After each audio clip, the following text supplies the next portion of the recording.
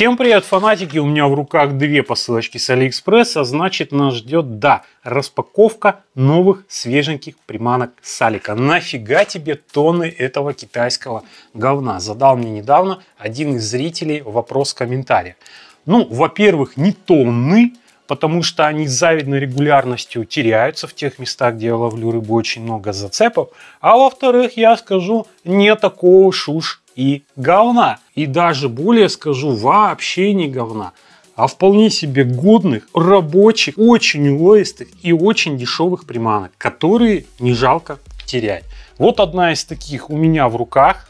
Кстати, как оказалось, вот именно этот экземпляр не очень рабочий, не хочет он правильно заглубляться и работать на течении.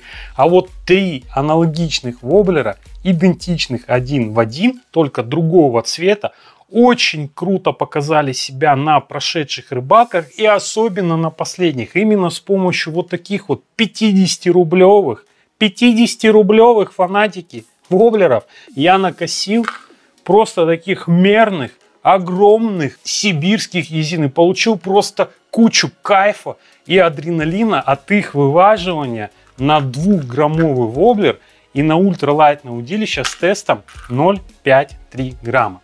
И вот, собственно говоря, для моего же удилища, для этого ультралайта, я закупил новых воблерков. Они пришли, можно сказать, под закрытие сезона, но я думаю, что я их успею разловить.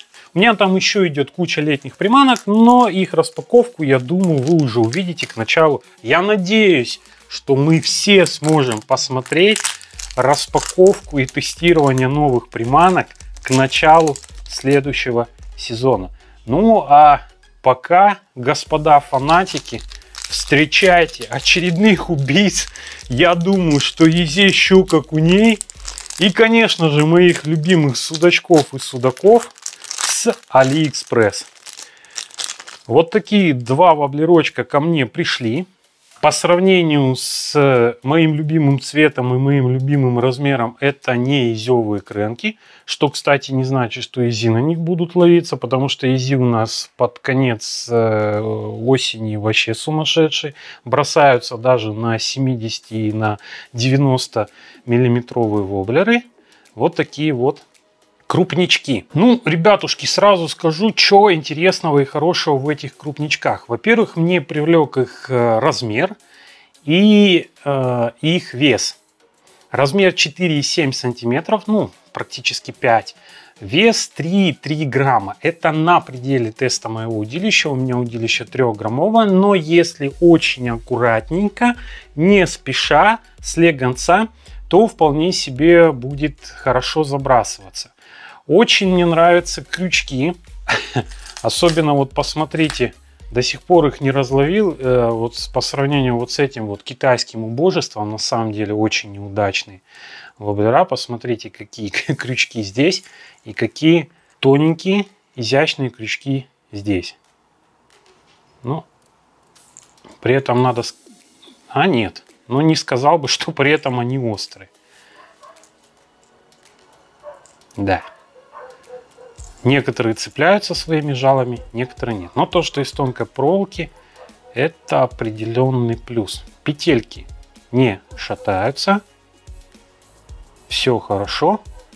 Ну и посмотрите, на мой взгляд, очень клево сделаны и окрашены. Ну, на первый взгляд вроде бы все хорошо, прекрасная маркиза, но единственное, что внушает опасения, так это, друзья, непостоянство китайского качества изготовления. Посмотрите, если вот эта лопаточка сделана прямо и хорошо, то вот тут вот явно видно дефект литья. Ну и еще вам скажу, что продавец напутал цвета. Вот этот воблер он прислал правильно, э, такой кислотно-желтый, а вот этот должен был быть кислотно-зеленый. Я сейчас посмотрю, если у меня еще есть возможность открытия спора, я открою спор, кстати.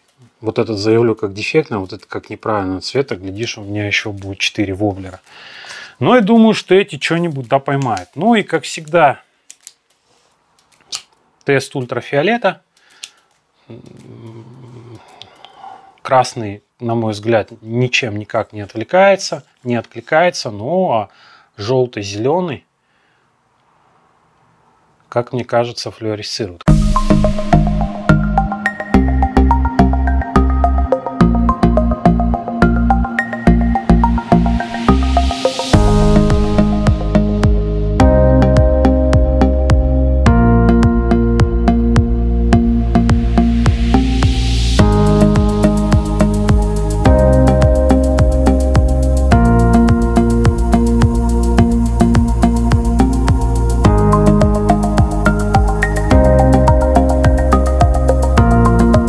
Эти воблеры были очень недорогие, я бы даже сказал дешевые, а вот этот для китайского воблера довольно-таки дорогой.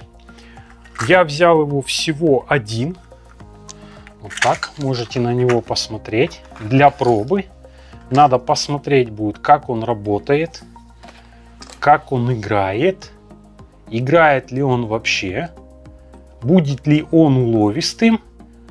И ежели что, заказать еще. Ну, вы видите, что я по одному, по два всегда заказываю. И если мне приманки нравятся, я заказываю еще. Более того, я вам скажу, что вот таких вот я заказал штук, наверное, 7 в различных цветах и в каких-то цветах даже дублями. Ну что, по 50 рублей чик-чик на рыбалочку сказал, сходил, будут отрываться, будет не жалко.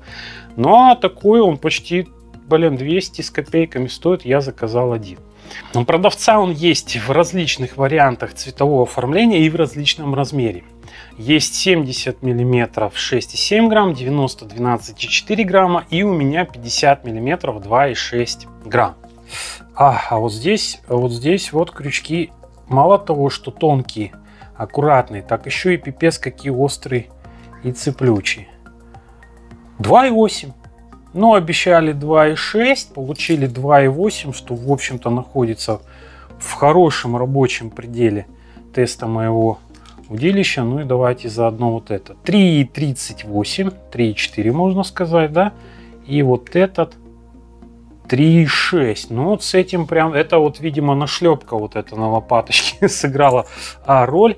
Блин, с этим нет, это тоже цеплючий. С этим надо будет поаккуратнее.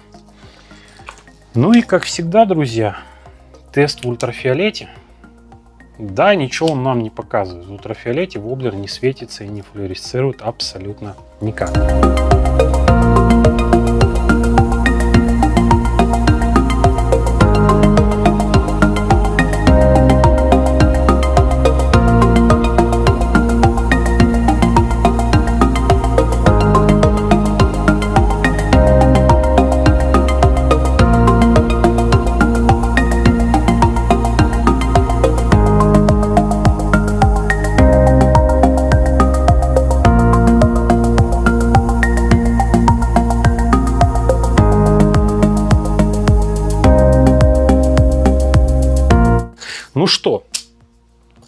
Я думаю, еще до ноября у нас будет вариант их протестировать.